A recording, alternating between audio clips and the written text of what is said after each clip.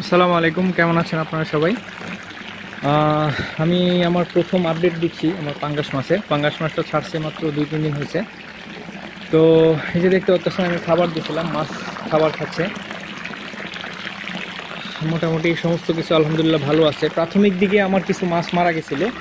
যখন মাছগুলো আনা হয়, আনার পরে হয়তো বা স্ট্রেসের কারণে, নতুন পানি চেঞ্জের কারণে চল্লিশ পঞ্চাশটার মতো পোনা মারা গেছে। এরপর আমি যখন পোনাগুলোকে পানিতে ছেড়ে দিছি এবং আলহামদুলিল্লাহ একদিন পর থেকে আর কোনো মাছ মারা যায় নাই। আপনারা দেখতে পাচ্ছেন, মোটামুটি আমি খাবার দিছি, খাওয়া খাইতেছে মাছ। বাকি এখানে ইকো ট্র্যাক সিস্টেম আছে ইকো ট্র্যাক সিস্টেম ভালোভাবে কাজ করতেছে। আমার পানি একটু নীল হয়ে গেছে, কারণ হলো আমার উপরে কোনো প্রকার ছাদ নাই। তো এই কারণে হয়েছে কি যে সূর্যের আলোর কারণে পানিটা আর কি আমারটা গ্রিন হয়ে গেছে। তো পানি গ্রিনে তেমন কোনো সমস্যা নাই। আর আপনার যদি উপরে যদি ছাদ থাকে, সেক্ষেত্রে পানিটা গ্রিন হওয়ার সম্ভাবনা খুব কম থাকে। বাকি আমার ফিল্ট্রেশন সিস্টেম দেখতে পাচ্ছেন ফিল্ট্রেশন সিস্টেম তো আপনারা জানেন। আমি তৈরি করছিলাম। এই যে ফিল্ট্রেশন সিস্টেম দেখতে পাচ্ছেন, খুব ভালোভাবে কাজ করতেছে। ওইখানে আউটলেট দিয়ে পানিটা বের হইতেছে। বের হওয়ার পরে এখানে একটা স্ক্রিন ফিল্টারে পরিষ্কার হয়ে পানিটা ওখানে যাচ্ছে। ওখান থেকে ইউবি ফিল্টারে আসতেছে পানি।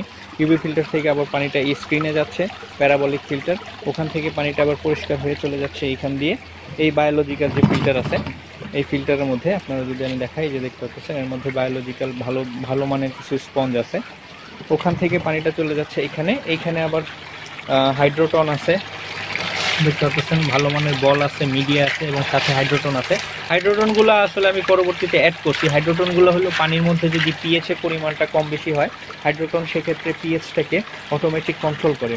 সো এই জন্য আমি হাইড্রোটনটা ব্যবহার করছি। আপনাদের কাছে যদি হাইড্রোটন না থাকে, আপনারা ঝামাইটের কুয়া ব্যবহার করতে পারেন। কিন্তু ঝামাইটের কুয়ার সাথে পার্থক্য হলো, হাইড্রোটনগুলো আমার দেখতে পাচ্ছেন পানির উপর ভাইসা আছে এবং আমার যে অক্সিজেনেরগুলোর সাথে এগুলো উপরে ভাইসা থাকে। ঝামাইটের কুয়াটা অবশ্য ভাইসা থাকবে না, সেটা পানির নিচে চলে যাবে। আর এইখান থেকে দুইটা পাম্পের সাহায্যে আমার পানিগুলো আউটলেট দিয়ে চলে যাচ্ছে আবার ট্যাঙ্কে। এখানে আমি একটা অক্সিজেন পাম্প ব্যবহার করছি।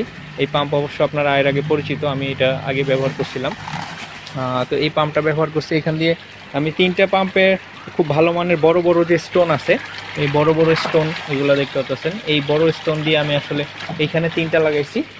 আর বাকি দুইটা আমি দিচ্ছি পাঙ্গাস মাছের জন্য। এখানে একটা দেখতে পাচ্ছেন ওখানে আর একটা খুব বেশি অক্সিজেন আমি পাঙ্গাস মাছের জন্য দেই নাই, কারণ আপাতত আমার মনে হয় এত বেশি অক্সিজেন দরকার হবে না।